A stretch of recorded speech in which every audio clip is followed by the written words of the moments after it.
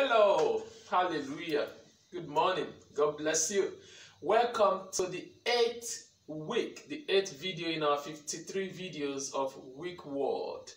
That week that um, I come your way with an inspiring, motivational word that you can anchor your faith on and run with in the course of the week. Without any wasting of your time, I want to kindly refer you to the previous videos that I have been teaching since the year started. And I want to go straight to today's discussion. Now, I have to tell you that I am having a bit of, um, I don't want to use the word confusion, but I'm like, oh Lord, what do I talk about today? Because a lot is in my head and I don't know which one to pick. But when we read the scripture, I believe the Holy Spirit will give us direction. I invite you, therefore, to come with me to Second Kings chapter 2, and I will read from verse 11. It reads, Then it happened, as they continued on and talked, that suddenly a chariot of fire appeared with horses of fire and separated the two of them, and Elijah went up by a wide wind into heaven. Verse 12. And Elisha saw it, and he cried out, My father, my father, the chariot of Israel and his horsemen. So he saw him no more. Now, and he took hold of his own clothes and tore them into two pieces. He also took up the mantle of Elijah that had fallen from him and went back and stood by the bank of the Jordan.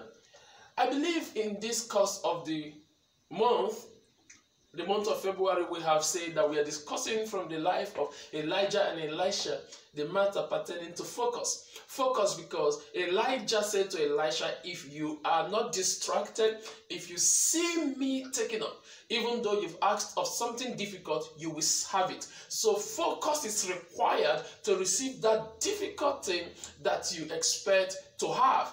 But we began to talk about conditionalities in the course of this month. We talk about suddenlies in the course of this month. Now, today I'm tempted to talk about eventualities. Now, but but you know, beyond talking about eventualities, my mind is beginning to pick something that has to do with your package coming your way in a disguised format. What do I mean disguised format? Most of the things you want to receive from God will not come to you the way you want it, or the way you pictured it, or the way you imagined it. Some of us want to marry a wife. We have a picture of the wife that we want. We have a picture of the husband that we want. But do you know that sometimes that wife or that husband will not come to you according to the picture that you have in mind? You want a rich guy living in a mansion, riding a good car. You want a beautiful girl that has a good job. And you know, it's silly now that men are always now attracted to the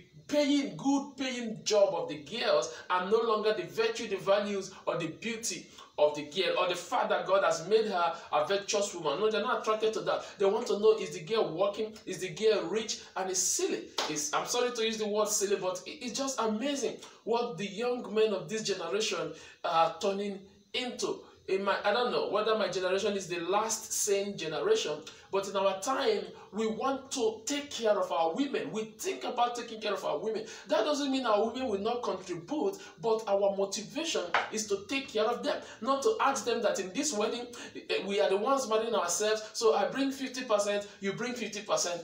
Boy, I don't know even how to put my mouth and talk about that one. And that just distracted me and took a lot of minutes in what it is that I want to talk about. And I don't know if that is, if there's a reason to that. I don't know if the Holy Spirit will have me go that way because somebody needs to hear that. Now, I am choked of time. And because I'm choked of time, I want to tell you that your package will come to you in a way that you did not expect. It will come to you disguised. Elijah might not put hands on you and pray for you. Elijah might not pour oil on your head. Elijah might even be sympathetic to you when he saw you tore your own garment into two pieces. I say, Oh, I don't want him to go home naked. Let me drop my own garment for him.